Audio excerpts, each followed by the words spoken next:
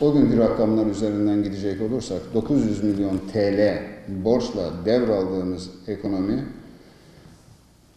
%80 harcaması euro olan bir kulüpte. Bugün az önce değerli Denetleme Kurulu Başkanı arkadaşım Mahmut Ören Bey'in de ifade ettiği gibi kulübün net borcu şu an itibariyle de 1 milyar 192 milyon yani 1.2 milyar civarında. Yani neredeyse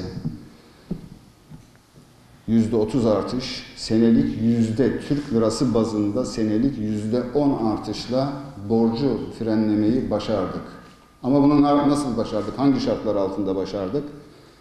Neredeyse bütün gelirlerimizin son iki sene içerisinde yüzde 70 oranında azaldığı bir süreç içerisinde bunu bu e, limitler içerisinde tutmayı başarabildik. Net olarak söylüyorum. Hocamızın bize mevkisel olarak önerdiği, daha doğrusu mevki olarak 5 mevkide transfer talebi vardı. 5-6.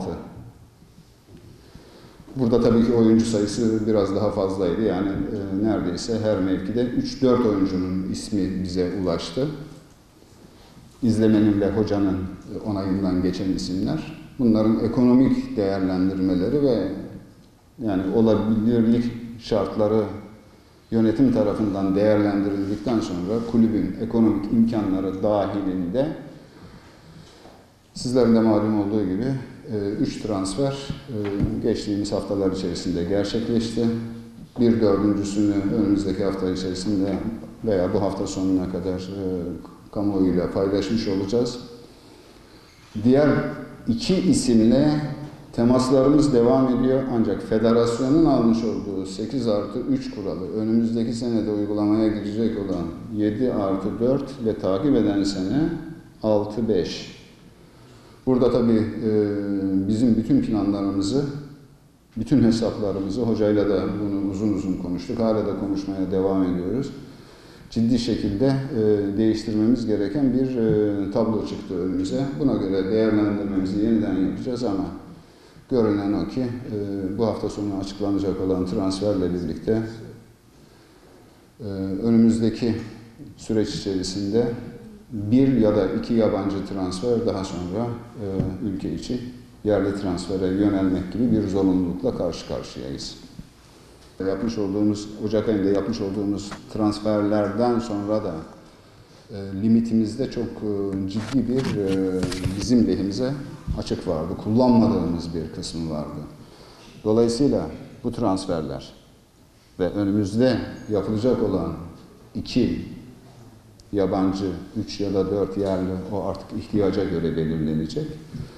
Bu transferlerin hepsini karşılayabilecek, kaynağı karşılayabilecek limite sahibiz. Asla ve asla hesabının kitabını yapmadan hiçbir şekilde zaten elimiz kolumuz bir taraftan transfer limiti, bir diğer taraftan da bankalar birliğiyle yapmış olduğumuz anlaşmadan dolayı zaten elimiz kolumuz bağlı. Yap, istersek de yapamayız bunu. Ama diyelim ki Şartlar el verdi. Şartlar el verse dahi biz Trabzonspor'u nasıl sıkıntılı bir süreçte aldığımızı, nasıl finansal ekonomik zorluklarla karşı karşıya olduğumuzu biz unutmadık. Üç sene geçti. Unutmuş olanlar olabilir. Asla ve asla. Şartlar ne olursa olsun. Asla ve asla kulübü ekonomik anlamda öyle bir çıkmazın, öyle bir girdabın içerisine sokmak ne bu yönetimin ne de bundan sonra gelecek olan yönetimlerin haddi değildir. Trabzonspor Kulübü bir olimpik, iki paralimpik sporcuyla Tokyo 2020 oyunlarına iştirak etme hakkını kazandı. Bu üç sporcumuzu da tebrik ediyoruz. Ve üçünden de altın madalya bekliyoruz. Malum 2010-2011 kendisi hukukçudur. Ceza hukuku açısından bakar, değerlendirmeyi yapar. Ama ben işin hiç o tarafında değilim ülkede insanların birbirine karıştırdığı, hala anlamakta zorlandığı ya da anlamak istemediği bir şey var. Sportif ceza farklıdır. Hukukun, mahkemelerin verdiği ceza farklıdır. Sert girersiniz futbol sahasında, futbol maçı esnasında Allah korusun rakibinizin ayağını kırarsınız. 3 maç 5 maç ceza alırsınız bu sportif cezadır. Sokakta birisinin ayağını kırarsınız. Belki 3 sene 5 sene bilemiyorum. Divan başkanımız daha iyidir. 2011 yılında sportif ceza, sportif anlamda tekrar söylüyorum, konuşuyorum. Sportif suç işlenmiştir. Cezası UEFA tarafından verilmiştir. Hala merak ediyorlarsa insanlar UEFA'nın 2017'de yayınlamış olduğu bültene baksınlar. Bulmakta zorlanıyorlarsa bende var. Ben kendilerine veririm. Dolayısıyla bu konunun Trabzonspor Kulübü tarafından tartışılacak hiçbir yönü yoktur. Kesinleşmiş bir şike vardır. Cezası UEFA tarafından verilmiştir. UEFA'nın kayıtlarındadır. UEFA tarafından ceza verilmiştir.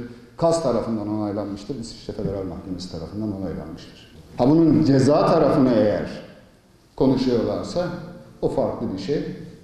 Onun cevabını da değerli divan başkanımız zaten verdi.